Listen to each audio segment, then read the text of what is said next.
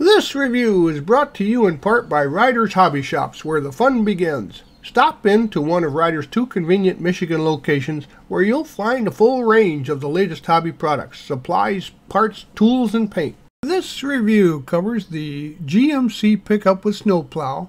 It's a 124 scale kit from Revell, number 85-7222.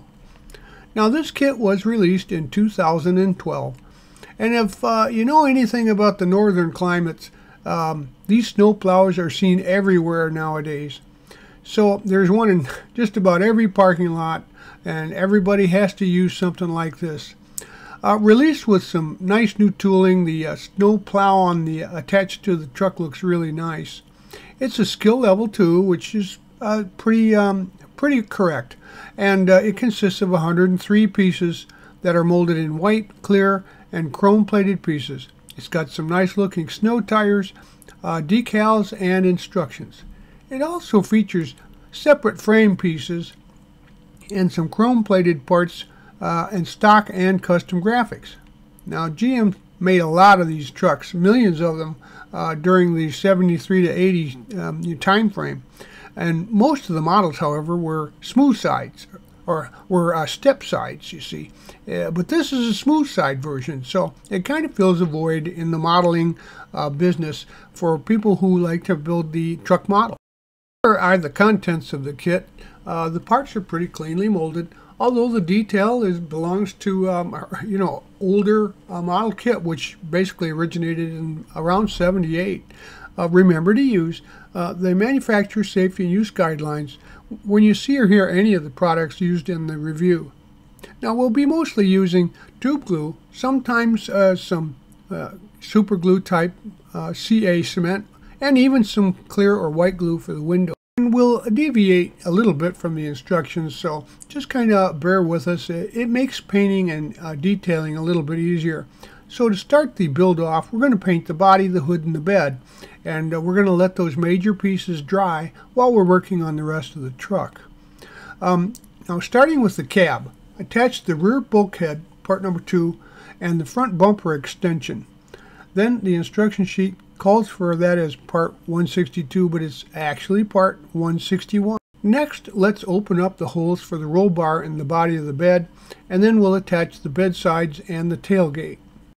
Now, I couldn't really see this before it was painted, but so that you know, there's an indentation in some of these uh, body molds that uh, will appear near the back end of the truck. Uh, you can see the line there, and you can probably feel it, uh, but I would go ahead and use some uh, thin putty to uh, fill it in and smooth it out if you want a contest model.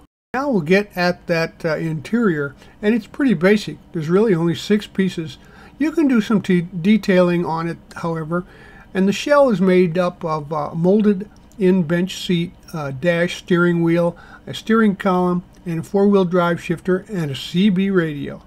There's really no detail on the door panels, uh, and so if you want to super detail it, uh, you, would have to do some scratch building here. I used a paint color called uh, Saddle Tan from Krylon to paint the uh, shell and the dash. And then the dash can be detailed with a little tester semi-gloss black paint marker and uh, some brown acrylic craft paint for the, uh, the insets there. Glue the CB unit to the underside of the dash there and go ahead and uh, put the dash into the notches in the interior. Um, you can add the steering column and the wheel and um, also make sure you, you don't forget to place that shifter into position on the floor.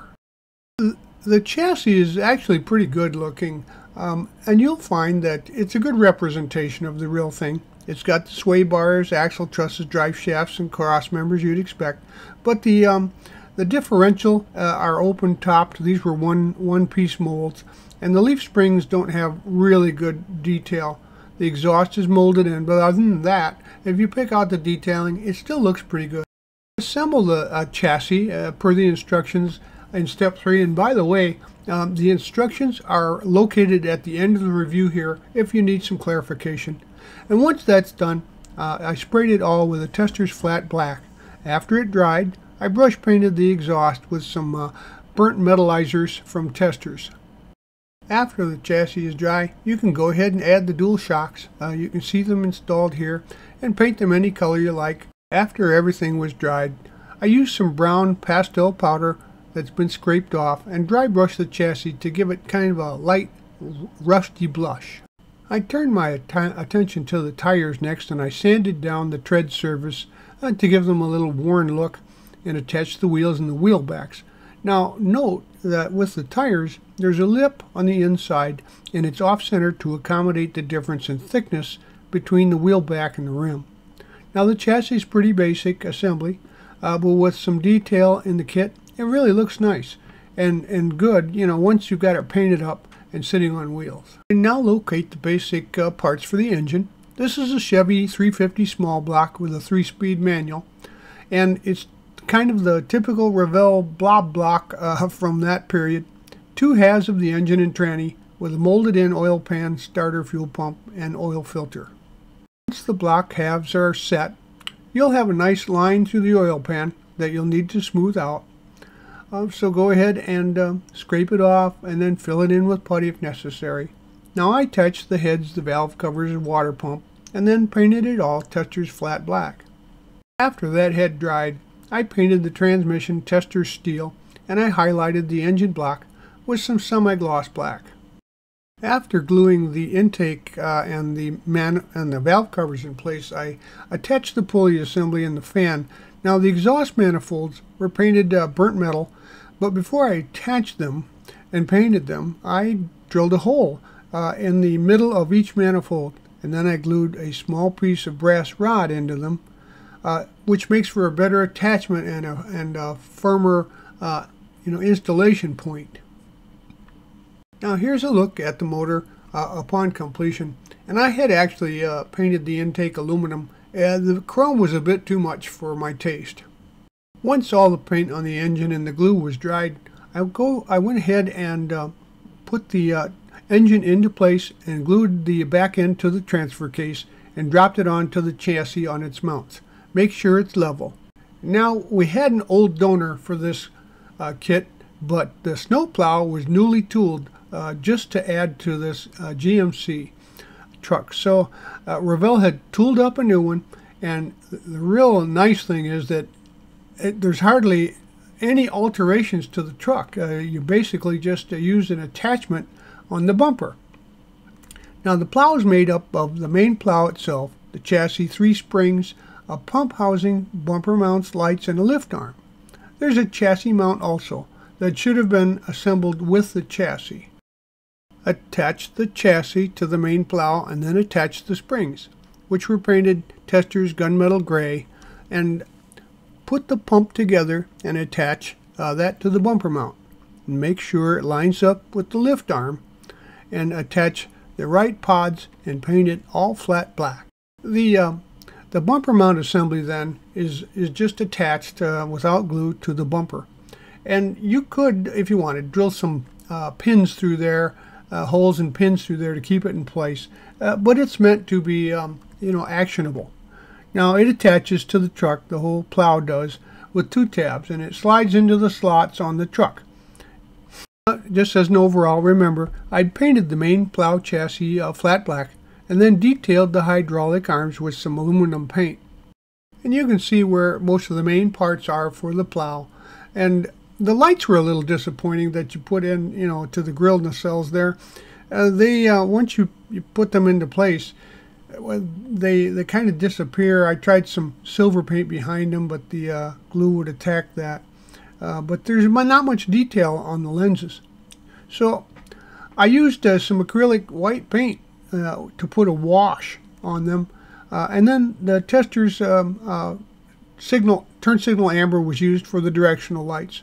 And once dry, detail the pump motor and those add the clear lenses for all the lights.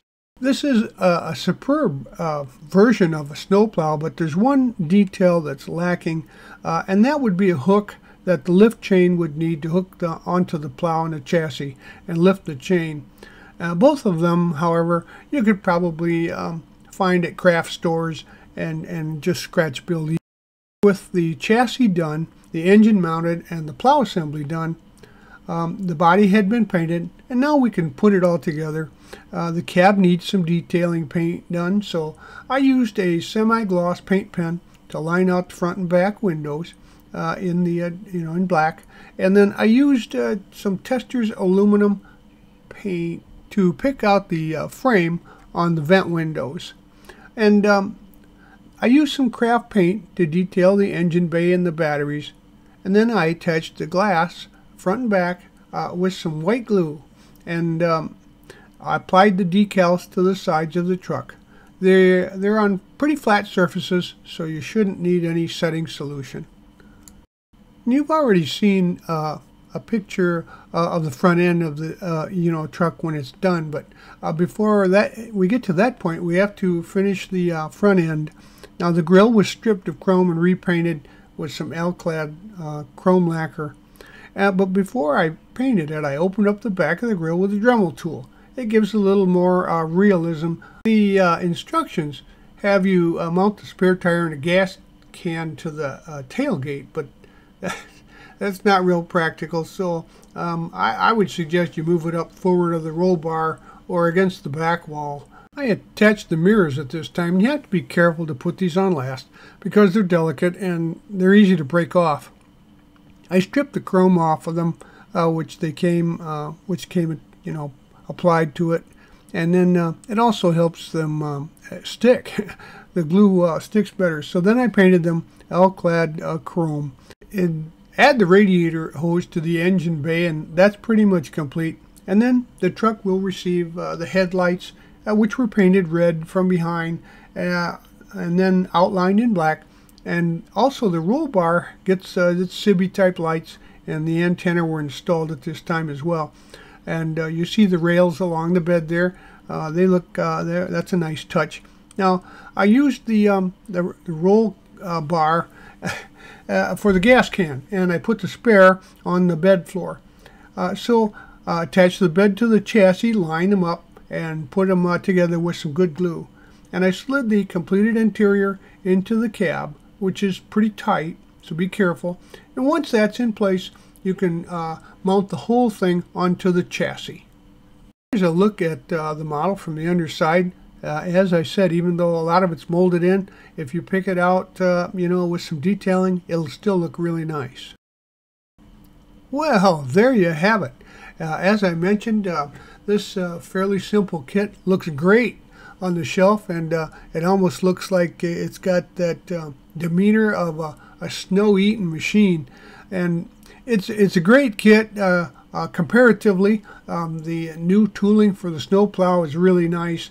And originally, the model, uh, even though it's quite older, uh, still has a lot of nice looking detail and uh, warrants a little bit of scratch building for some final touches. So you could use it for a lot of options, uh, and the plow could be used on other models as well. Uh, but uh, you really need a little bit of extra work and some detailing to make this thing really stand out. But in and of itself, it's a great place to start. And if I were you, I'd buy one and put it on my shelf. Well, we hope you like this premium step-by-step -step scale model review. And so that you don't miss any more, please subscribe to our YouTube channel. You can do that by clicking on the icon in the lower right of any of our reviews or you can find us on Facebook or our website, rightonreplicas.com. Thanks.